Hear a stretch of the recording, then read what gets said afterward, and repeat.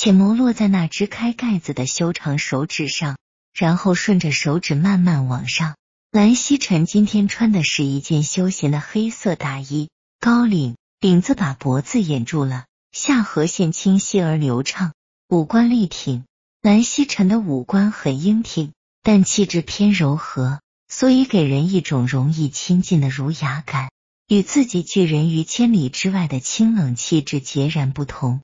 其实对方不说，蓝忘机也能猜到一些。自己是随母亲长大的。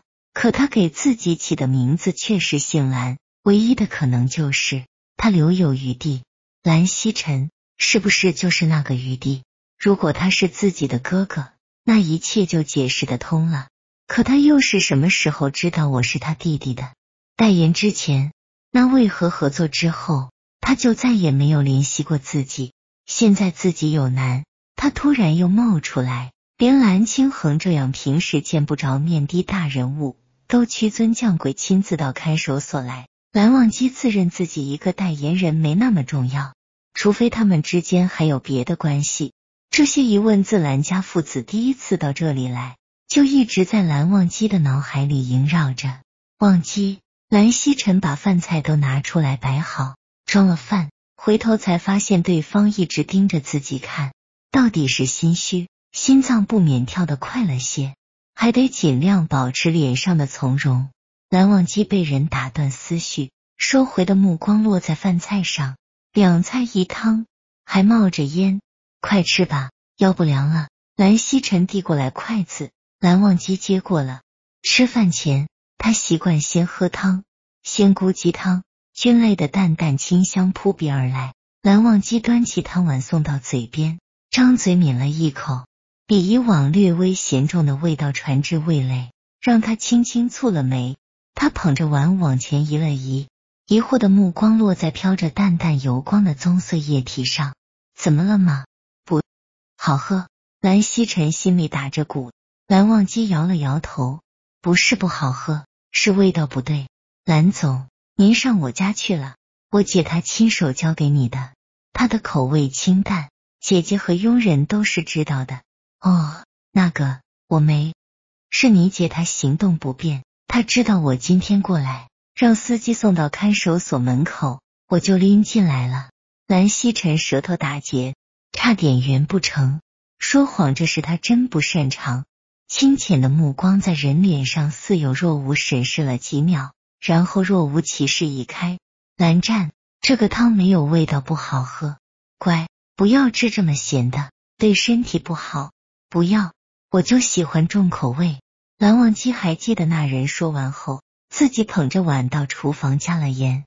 此后，蓝忘机煮的饭菜都迎合他的口味。可是，怎么可能？他在英国有了爱人和孩子，自己再也不是他的执念和归宿。那个人曾经全心全意把心都掏了出来，他放下少爷架子，追求自己，为了自己。舍弃大别墅不住，跑到他那一室三居的小房子蜗居。为了他，他和从小相互依靠的父亲闹翻了。他说想和他安一个家，一个有他有孩子的家，属于他们的小家。为了他，他一直在努力，想更上进一些。他说他也要努力读书，以后挣钱，一个家要共同努力，不能让爱的人一个人辛苦撑着。那个人还那么小，却什么都站在他的立场考虑了，可换来的是背叛和舍弃。那天，心爱的人亲自送他上车，连一句分手都没有，他该有多绝望呀！事已至此，他又怎么可能会为了自己回国？多少的怨和恨，蓝忘机都觉得自己是咎由自取，是他的选择，怨不得别人。忘机，你没事吧？蓝曦臣眼看着对方盯着一碗汤失了神，脸色也不对劲，眼底透着淡淡的哀伤之色。其实他也有过疑惑，弟弟和魏无羡到底是什么关系？他还记得自己第一次见到蓝忘机那天跨年夜，他和魏无羡两人相立站着，四目以对，那时他光顾着惊讶了。现在回想，那样的眼神不像是舅舅与外甥的关系。倒更像是情侣，可是魏无羡结婚了，怀孕了，现在再问这些没有意义。没事，蓝忘机低头掩去自己的神色，像个木偶似的，夹菜送进嘴里，机械的嚼着。蓝曦臣看他情绪不对劲，便找了个借口走开，留下独处的空间给他。有晶莹的东西掉入饭里，又被他咽了下去，喉间一片苦涩。英国机场。飞机降落时已是深夜，国外人口少，显得机场冷清的很。魏英裹紧外套，一手推着一只箱子，朝出机口走去。回国匆匆忙忙，魏婴只拿了几件换洗衣物。这一回校，张妈给他买了一大堆的营养品，还有炖汤的药材，满满两大箱。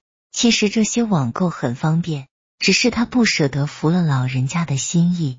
离家后才愈发懂得有亲人在身旁的幸福。魏婴一味低头赶路，连有熟悉的身影在朝他挥手都没看见。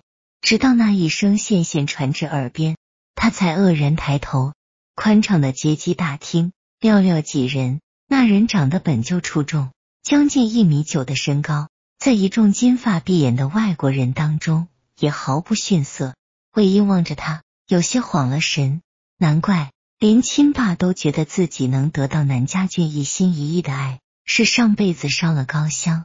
他确实有这个本钱，让普通人都自惭形秽。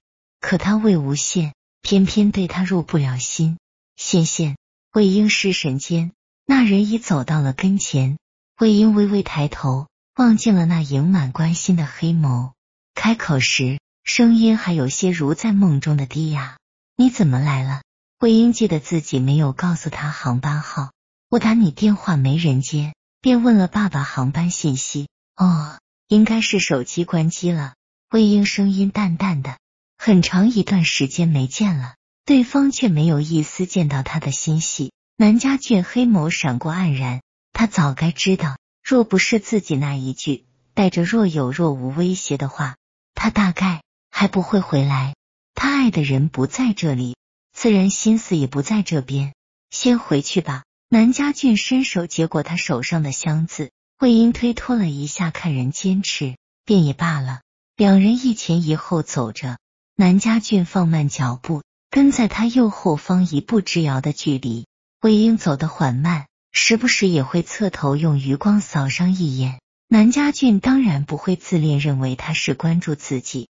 他知道魏无羡有话要问，只是。不好意思，马上开口，他便也假装不知。南家俊没有自己开车来，叫了车，在机场外等着。